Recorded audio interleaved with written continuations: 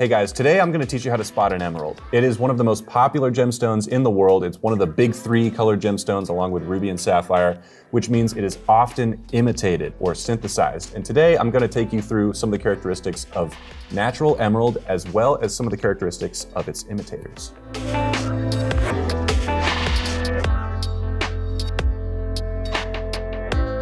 So what is an emerald? It is a green member of the beryl family. It has undertones of blue or yellow, but the primary color is of course always green. The color of the emerald is primarily what gives it its value. So the greener it is, the more valuable it is. So if it's not quite green enough, or if it's just colored by iron as opposed to the chromium or vanadium present in emerald, then it'll probably just be referred to as a green beryl and not be quite as valuable. It would be wrong of me to talk about identifying emeralds and not mentioning the Chelsea color filter. This filter was designed specifically to pick out emeralds from parcels of other green gemstones. The filter, when passed over an emerald, will make the emerald appear bright red if it's high in chromium content. However, other green stones like chrome diopside have chromium content, and not all emeralds have a lot of chromium. Plus, synthetic emeralds are designed to imitate the finest emeralds and will flash a super bright red under the Chelsea filter. Aside from color, the most defining characteristic of emerald are its myriad inclusions. Emerald is always chock full of other stuff, whether it's cracks and fissures or other minerals like pyrite or mica or tourmaline or rutile. It's always got other stuff going on inside of it. So often and so commonly, in fact, that the inclusions found in emerald are given their own name, a jardin, which is French for garden. What's also interesting about emerald is that certain inclusions occur commonly in certain localities. So depending on what you find inside of your emerald can tell you a lot about where it may have been mined. So let me show you some examples. So like I was just saying, certain emerald inclusions can actually be diagnostic and provide a strong clue as to where in the world they were mined. For example, in Siberia, it's not uncommon to find inclusions bamboo in appearance and shape, needle-like inclusions of actinolite, which can look silky. And these guys just go willy-nilly and no particular order or orientation, just all across the stone in every which direction. And they kind of look like a nice big pile of cut grass, the jardin. In Pakistan, you can get two-phase inclusions, which is a really cool phenomenon. Imagine a cavity with inside a gemstone. It's full of liquid, one phase of matter. It's also got a gas bubble trapped in it. That's two phases of matter. And what's really cool is when you take the crystal and rotate it, that bubble will slide up or slide back down the gemstone, like a nature's naturally made level.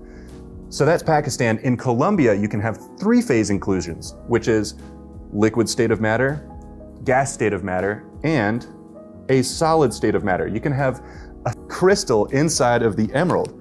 So you'll have a gas, liquid, and a solid. That can be calcite, it could be pyrite, it could be really any material that is forming alongside uh, the emerald. So you've got three phase inclusions common in Colombia.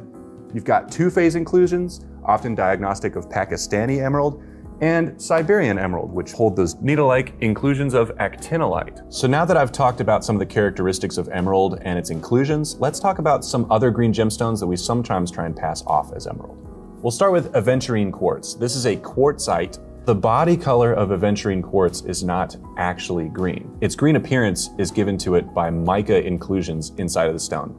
So aventurine quartz is usually kind of like a milky white, sort of off gray body color, but it is littered with green mica inclusions that make it look completely green. But when you scrutinize it and when you look at it, especially with a 10x loupe, you realize, oh, this isn't a green stone. It's just full of green mineral inclusions. The next stone we'll talk about is YAG. That's an acronym, stands for yttrium aluminum garnet. It is a synthetic stone. It is man-made in a lab, which means that it's almost always going to be pretty clean and free of inclusions, which, as I just mentioned, with natural emerald, it's always got junk inside of it. It's always got that jardin going on. So someone's trying to pass off a completely clean green gemstone and calling it emerald, it's probably not an emerald. At best, it's a synthetic emerald, and it might even be YAG. Another common imitator is glass, and like the other imitators, it just doesn't have the jardin going on. On top of that, it's relatively soft. and it's inexpensive. So you might have some facet edges that don't quite line up, the points won't quite meet how they're supposed to. You could have rounded facet edges, and you can even have chipping on your facet edges. Whereas with a faceted emerald, the facet edges are going to be much sharper, cleaner, and more precise because it's a more valuable material. Now that we've talked about some green gemstones that are imitators, let's talk about composites. A composite gemstone is basically a couple different materials sort of Frankensteined together made to look like a different material, in this case, emerald. So first we're going to talk about one of the more common imitators, the Soudé emerald. So the history of the Soudé emerald goes back pretty far. Originally, the Soudé emerald was a colorless top and a colorless base, glass, colorless quartz, or even synthetic spinel. And in between the base and the top is what once used to be a green adhesive made to look like emerald. And when viewed from the top, it, it makes the whole stone look green. Nowadays, they still glue a top and a bottom together, but the middle layer is actually emerald. It's just a very, very, very thin slice that sort of lends the whole stone, when viewed from the top, that classic green color. How do you identify it though? Because it can be tricky. That middle layer where the adhesive is can sometimes contain little gas bubbles that were trapped as the two layers were smooshed together. So if you use your 10x loupe and look right at the girdle of one of these Soudé emeralds, you might find some gas bubbles. One thing that you can do to identify a Soudé emerald is a little bit of a trick. You can take your stone, loose or mounted, and submerge it in water. Use like a styrofoam cup or something like that that allows diffused light to pass through the bottom of it. So you set your little cup on top of this guy, you look down in, and the inner green layer will be a lot more obvious. A less common but still used composite is the garnet topped doublet. So this one works in kind of mysterious ways. You take a slice of red almandine garnet, and that's your top. Your base is glass, and it's whatever color you want it to be because it will give the appearance of that color to the whole stone, regardless of the red top. It's really crazy. So a garnet top doublet with a green glass base will appear completely green when viewed from the top. So it can be very tricky, but there are some ways to identify it. First of all, just using your loupe or even your eye, your naked eye, you can look at the luster of the garnet top versus the glass base the garnet will have a higher luster than the glass. And sometimes you can just see a hard split right along the side where the two materials meet, higher luster, lower luster. Like I said before about glass, it might not have very sharp facet edges, but garnet should indeed have sharp facet edges.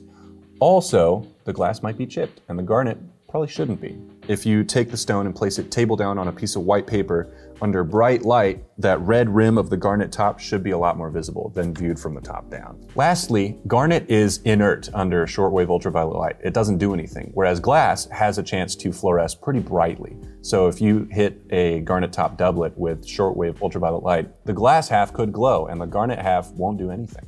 Thanks for watching, guys. I hope you learned something today. Do you have a gemstone that you'd like to learn how to identify? Let me know down in the comments. And of course, don't forget to like, subscribe, and ring the bell so you don't miss out on future videos. Thanks for watching.